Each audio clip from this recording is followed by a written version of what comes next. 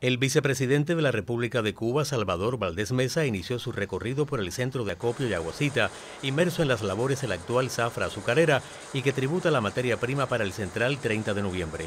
Convocó a una mayor eficiencia en la contienda y a multiplicar el ahorro enfatizó en tres prioridades, cumplir la zafra, aportar electricidad al sistema nacional y aprovechar mejor los subproductos de los centrales en la alimentación animal, lo que sustituye importaciones al país.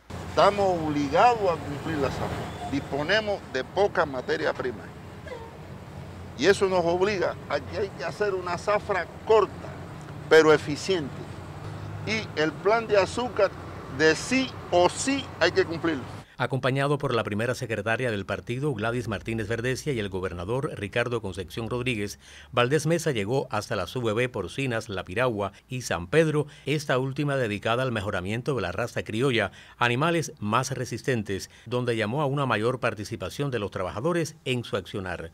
Más tarde apreció áreas dedicadas a la producción de cultivos varios en la ciudad capital. Como colofón de su visita, Valdés Mesa sostuvo un intercambio con administraciones locales y otras entidades del territorio, donde chequeó programas de autoabastecimiento municipal y soberanía alimentaria y nutricional.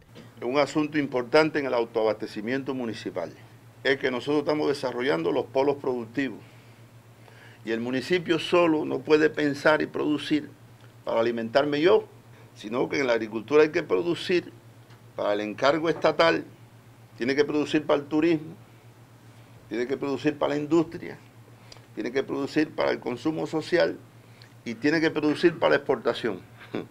Además, nosotros todos en el municipio. Salvador Valdés Mesa aprovechó su estancia en Artemisa para felicitar al pueblo a propósito del décimo aniversario de la provincia este 9 de enero.